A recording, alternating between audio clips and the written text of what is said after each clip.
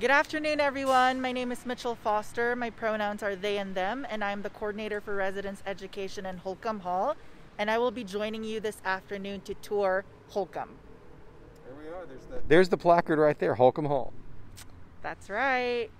Well, if you are just coming in and joining us, um, make sure to make use of the chat option um, on the bottom of your screens for any questions that may come up during this tour. But I joined you last week um, with Futrall. It's very loud out here, so we're not going to stay here for a long time. But as I was saying, I joined you last week for Futrall, and now I'm going to be joining you for Holcombe.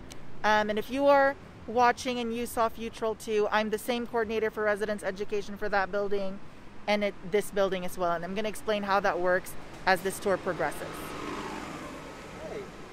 is uh, you got a compliment on your mask from Leslie. Oh, thanks. Do we want to uh, point out any point out any points of interest here in front of Holcombe? Absolutely. So um, Holcombe, just like Futrall, is in a very good spot on campus. Um, um, across the street, across Garland, is Pat Walker Health Center. So our students won't have any problems accessing um, any services um, that require at- any attention for their health um, especially during what we're going through right now. And on the north side of the building is the bookstore. So just like Futrall, it's also very close to the bookstore, just across the street, um, North Douglas. I mean, sorry, West Douglas Street. And um, on the other side, on the south end of the building, um, it's very close to Union as well, where um, the food court is. So, very cool spot. We have um, on this side right here is um, the Fulbright Dining Hall. Um, and it's also the building where we get um, our mail and packages. And by we, I mean me, the hall staff, and all of the students who live in Holcombe. We have about 16 people watching us right now, and we'd love to hear where you're from and uh, where you'll be coming. Yeah. Yeah, absolutely. So this is my second year in the coordinator for residence education position. I moved here from Northern California two years ago, where I got my master's in California State in Chico.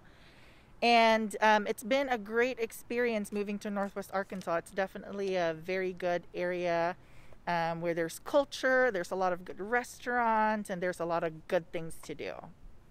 Fantastic. All right, well, shall we head in? Let's go.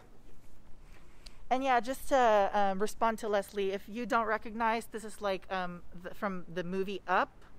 Um, it's the house with the balloons um, in that Pixar movie, Disney Pixar movie. nice.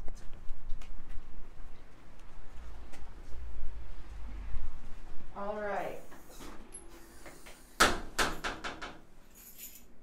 So just like Futrall Holcombe um, has a fob, and you could only get in the building if you have a fob. The difference between Holcombe and Futrall is that here, in the in the school year, from 8 a.m. to 4 p.m., students and scholars office, which makes my office accessible too. But we're going to talk about international students and scholars office in a little bit. Um, and we're going to talk about what other things happen are happening in Holcombe or what we have in Holcombe as well. Sounds good. All right, let's head over here this way. So now we're heading into the first floor study lounge where um, the students. Do we want to point out your office? Oh, that's right. Yeah, absolutely. um, so this is my office right here. Um, very, as you all could see, it was very close to the front doors. So literally, you walk in the front doors, you look to your right, and that's where I'm at. So if you ever need me, I'm always in my office. And if I'm not in my office, you could definitely reach out to your RA or send me an email and we could set up an appointment. But I'm very accessible this way. And as I said earlier, um, the front doors are open from 8 to 5 during the school year on the weekdays. So if you live in Futrall and you want to see me, um, because I'm also your coordinator for residence education, you could just go in from 8 to 5 through the front doors and see me in my office. Sounds great. And hello, Joseph. Glad you're tuning in. All right. So now we will go and see the first floor study lounge that you could use to study.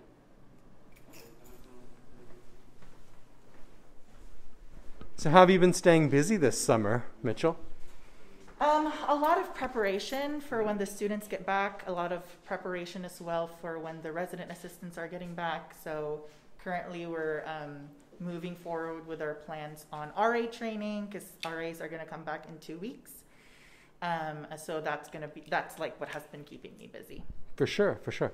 So this is another fobbed access door, so you can't just walk in if you're not a resident in the hall.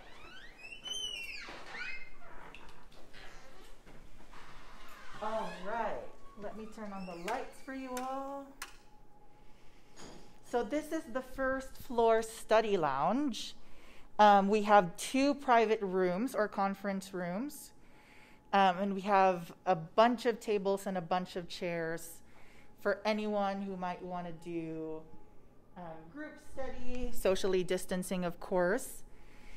Um, and there's just a lot of space for quiet studying. This is also a quiet study space, so if you want to use this spot, um, it is understood because of the signs everywhere that um, everyone else needs to be quiet around you, or you need to be quiet around other other people because it's a quiet study space. Very good, very good. Lots of places to study, it seems like. Yeah, and um, if you really want to be super private and super quiet, on top of like it already being a quiet space, these conference rooms right here actually also close. So you could close the door from for some privacy, and um, just make sure that when you leave the space, that you leave the door open so that people are not assuming that there are people in there. Great. All right. If you have any questions, please feel free to put it in the chat, um, and I'll be happy to answer any of those. But this is the first floor study lounge. And now we're heading to um, the little kitchenette on the first floor, and then we're going into the music room. Let's go.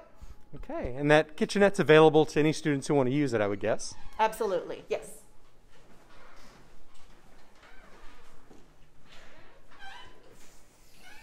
Um, so this is the little kitchen um, in the first floor of Holcombe. We have a fridge um, that anyone could use.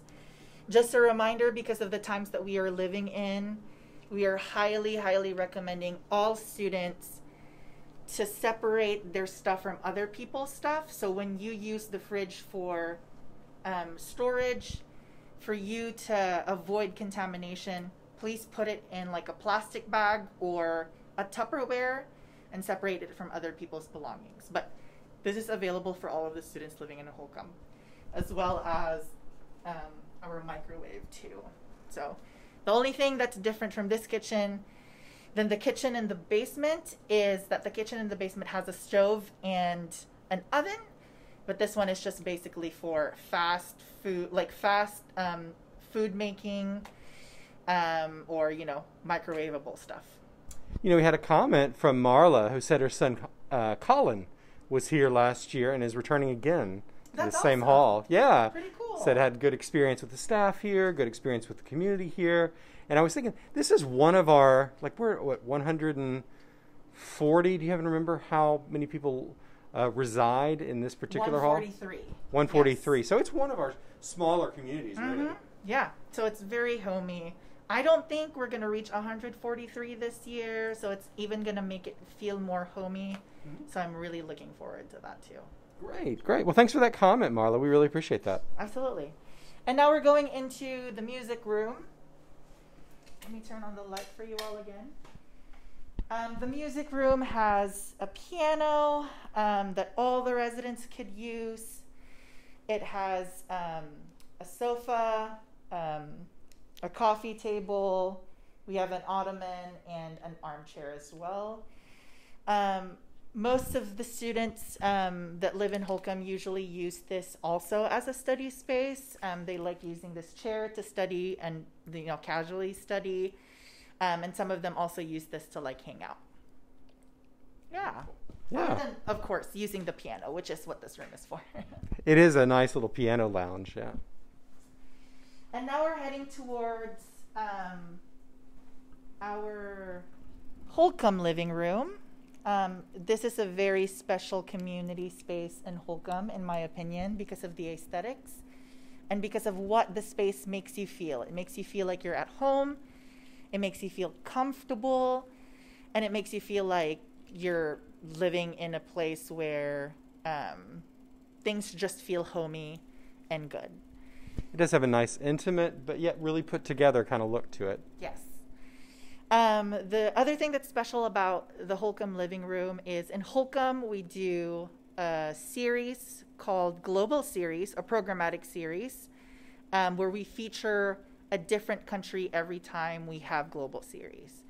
And Global Series is head by um, the graduate assistant in Holcombe, as well as international students who are from that country or domestic students who have done exchange or study abroad in that country. And what they do is they talk about the country, they talk about their experiences, they talk about the culture, and they basically share it with the campus community. So during Global Series, we turn this entire living room into a classroom. So all of these furniture go in that other room right there, and we bring out all of our chairs um, and um, set up a projector and a screen um, on that end of the room, and we basically get together. This year, because of COVID, obviously we're rethinking that um, because of social distancing um, protocols and requirements. We're probably going to rethink the format of Global Series, but Global Series is still going to be a thing that we are doing this year, and it's still going to be a Holcombe signature program. And if you have any interest in international studies or um, just cultures at all, it really is a great program for that. Absolutely. All right, so so far I've showed you all the entrance of Holcombe, my office. Um, I've showed you the first um, first floor study lounge. I've showed you the kitchenette, the music room, and the living room. And now we're heading down to the basement where I'll show you the um, basement lounge. Sure. And let's uh, to make a quick stop too by international students and scholars, even though they're working from home right now. Let's let's do that. Yeah, so earlier um, I was talking to you all about international students and scholars. Um, international Students and Scholars is a department on campus um, whose office is in Holcombe, and that's the reason why this front doors are open from 8 to 5 on the weekdays um, during the school year. Is because we have staff members who work in this office. It's also um, it's also because of international students and scholars that um, we and in Holcombe get to do exciting programs such as Global Series because of our partnership with them and because of the supplies that they, they also provide for the program. I noticed, Mitchell, we're at the front desk now. And what are some things that students might do at the front desk? Yeah, so um, this is um, the front desk in Holcombe. Um, it's usually manned by an RA um, from 4 p.m. to 10 p.m. on the weekdays, um, and from 4 p.m. to midnight on the weekends. Um, usually, um, in normal circumstances, there's a lot of people um, gathering around here. This is where students build community. They talk to the RAs. Um, they check out some stuff, um, usually kitchen utensils or pool sticks or um, ping pong paddles. Um, this year, we would like to encourage everyone to bring their own kitchen utensils so that we could avoid contamination. Um, we're also encouraging everyone to bring their own sanitizing um, sheets or sanitizing wipes to sanitize all common areas as they use it. Luckily for us is that this year we're going to be doubling up on sanitation of common areas in all of the residence halls, including Holcombe. Um, so there's going to be um, people sanitizing common areas in the mornings and then the afternoons. Great, thank you. The other thing, too, um, if you all are just um, checking in or coming in and joining us right now, is that earlier I mentioned that across the street is where the hall staff and the residents get their mail and get their packages. This front desk doesn't provide mail and packages for our residents, unfortunately. We all have to go across the street to Morgan Hall to get our mails and packages. Each student gets a notification in their email if they receive a package. Um, and all of um, the mailboxes are all over there too. All right. And uh, Joseph, you had a question about studying and reading a book. Feel free to ask, and we'd love to we'd love to answer it. All right, so we head on to international students and scholars. Absolutely, let's do that. Okay. So, just like Christopher said, on normal circumstances, this is a very happy and joyful office, and I'm pretty sure that the staff members are going to be coming back soon. Um, but right now, it's a very dark space, but that is the International Students and Scholars Office. Um, it's definitely a partner um, of Holcombe Hall in international education and also in serving international students that live in, in this building. Fantastic. All right.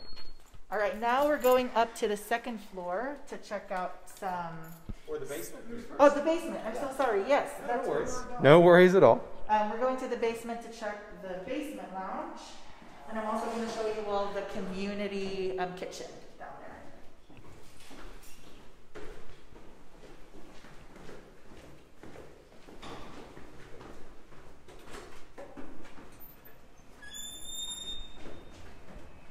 But I guess Christopher, because we're very close to the laundry room right here. Let's go check the laundry check out. it out, and then we'll head over here. So this is the laundry room that um, is going to be used by all of the residents in Holcombe Hall. Um, we have different washers. It's kind of loud in here, but we have different washers and multiple um, dryers as well. So take a look.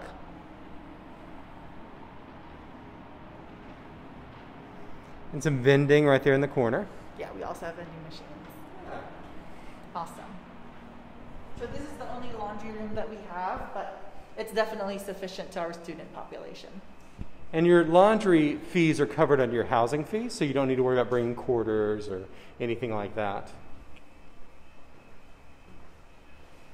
All right, and now we're heading towards the basement lounge, um, where a lot of socialization and community building also happen in Holcombe.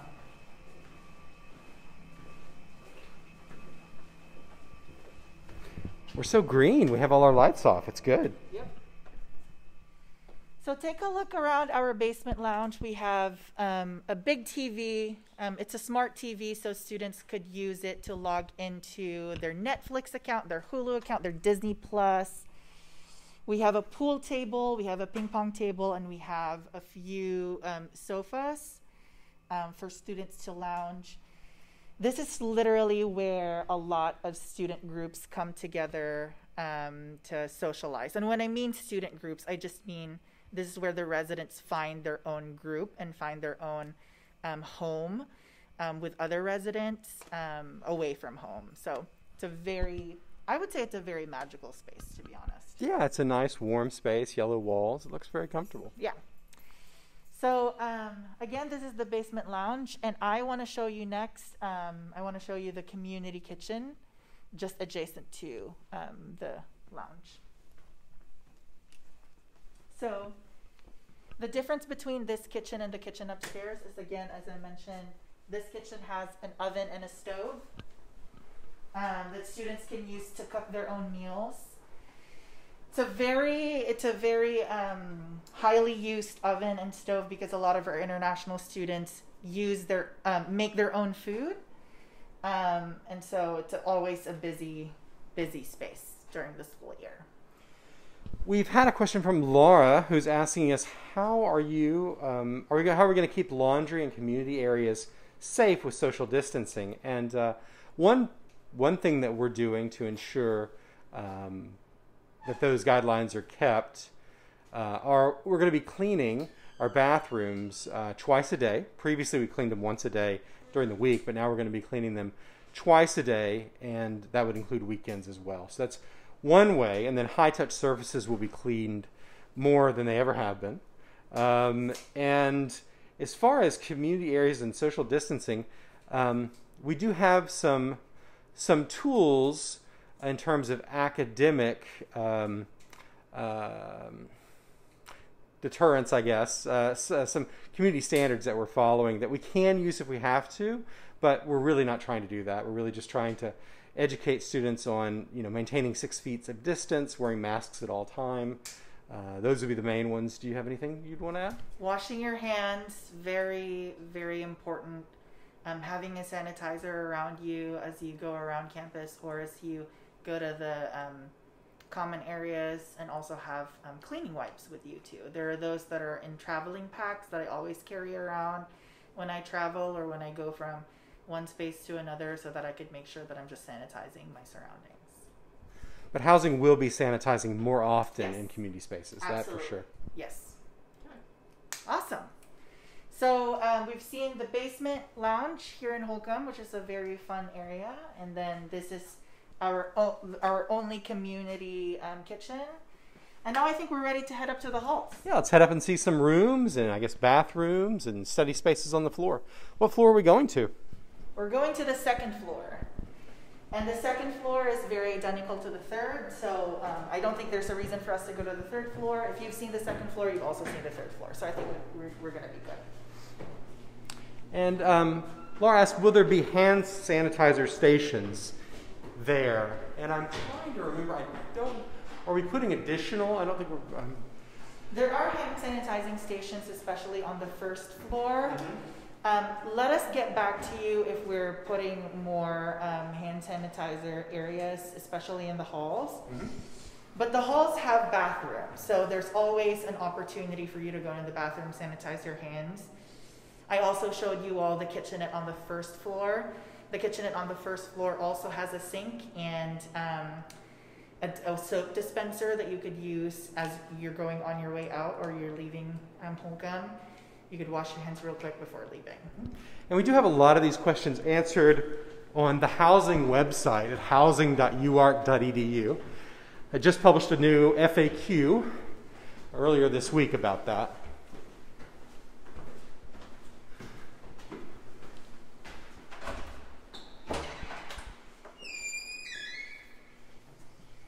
All right. Let's go and check out the bathroom first. Okay, let's check out the bathroom. It's not usually this dark either. Yeah, it's not usually this dark. We're just turning off all the lights. So this is the community bathroom. We have six stalls of toilets and five shower stalls here. Let's go ahead and check out one of the shower stalls. Let's do it.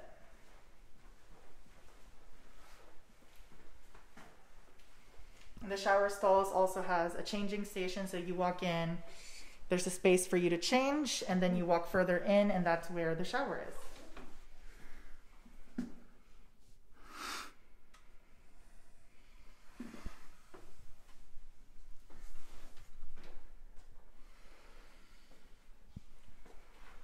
Nice to have a seating area before you have to get in. Exactly. All right. Um, should we go look at the study spaces in the floor? Yeah, let's go take a look. So we have two study spaces on each floor as well. In addition to the study space in the first floor, in addition to the basement lounge, if you want to use that as a study space as well, that's possible. It's right up here. We're coming into it.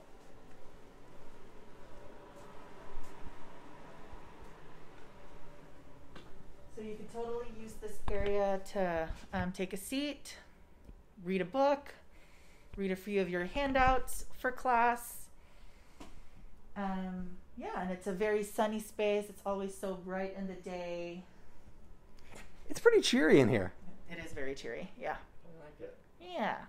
Would you say that you see students from time to time using it in that way? Like Absolutely. small study groups? Sometimes I see one or two people. Sometimes I see just one. They, you know, they close the door so that um, they could get privacy. There's a lot of opportunities in Holcombe um, for private studying. As you could see, there are like two little conference rooms in the first floor study lounge. Um, and this is also one of those things, like places you could close the door, study, and you know, um, get as much as you can from your study time. And that's why they're here. Yeah. Makes sense. All right, and now we're going into the other um, study space, which is the smaller one, but it's also available on either floors, on both floors, on the second and the third.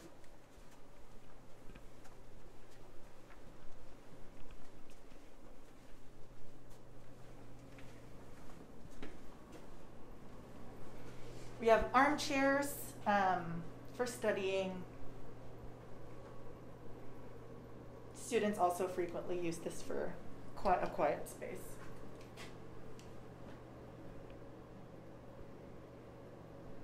I don't know. It's probably about 12 feet by 8 feet, something like that. Yeah, I would say so. Yeah. I think That's that's, a pretty nice, pretty nice size space. Yeah.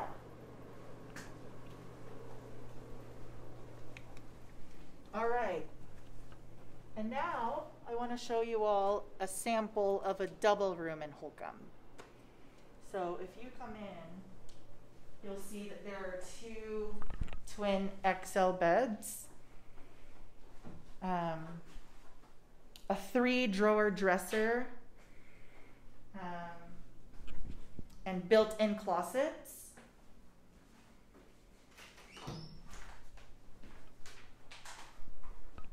And also a built in What are you mirror. in the built-in closet? Um, what do I see in the built in We closet? have a mirror. A We have mirror. a mirror. Um, we have a rod, a suspension rod. Um, we have um, spaces for your shoes. Um, and then another space for some more stuff. And then you could also use this space up here for more storage. So really, a lot of storage space in those. Yeah. And then each student gets, like I mentioned, a three drawer dresser. Um, this um, desk and another drawer with a lock. Okay, and we have uh, another question coming in from Lori, and um, she asks, "Is there a chance to see a single room?" Absolutely. Okay, guess what, Laurie? We're gonna go see a single room. Let's do that.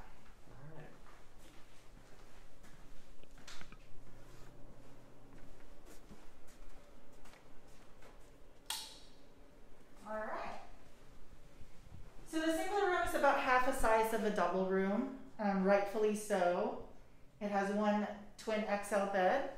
It has one desk, one three drawer dresser, um, another one that has a lock on it for private belongings, and then a built-in closet as well. Same dimensions, approximately. Looks like a couple more drawers, maybe, or a couple more shelves in there, or does it look the same? Yeah.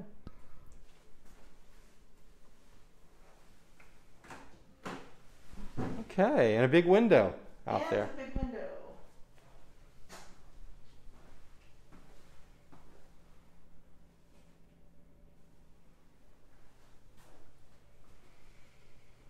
All right. Well, you ready for them to come? Absolutely. I'm looking forward to seeing everyone come in the fall in a matter of a few weeks. I'm very excited to meet everyone who is going to be living in Holcombe. It's a very homey community, it's a small community, so you get to really meet a lot of people and um, be close with them if you so wish. Um, and of course, thinking about social distancing and precautions. Um, I wish to see you and socialize with you and build community with you um, when fall semester comes. Excellent, excellent. Now is the moment if you have any questions for Dimensions. Um, Yes. we'll be happy to entertain those. Um, and uh, Joseph asked, I have another question about clean, sustainable environment for safety on campus. And, you know, we do do our best when it comes to sustainability, encourage you to bring a bottle uh, for yourself for water. And, uh, and recycling is done throughout. Yes, so each floor has its own recycling bin. Um, so in the school year, we have big bins up here close to um, the the top of the staircase this way, and then that recycling bin um, is a space for you to throw your um, bottles, your plastic bottles, mixed paper, um, and um, cans. Great, great. Okay, well, without any questions about dimensions, I think we'll probably sign off and keep the tour rolling next week with a couple other halls. But uh, Mitchell, you've been a pleasure. We've, we've enjoyed interviewing you twice this uh, this week, uh, and thank you for your time. Thank you so much. Thanks for joining y'all. And if you're watching and you're going to be moving in in the fall, I'll see you then.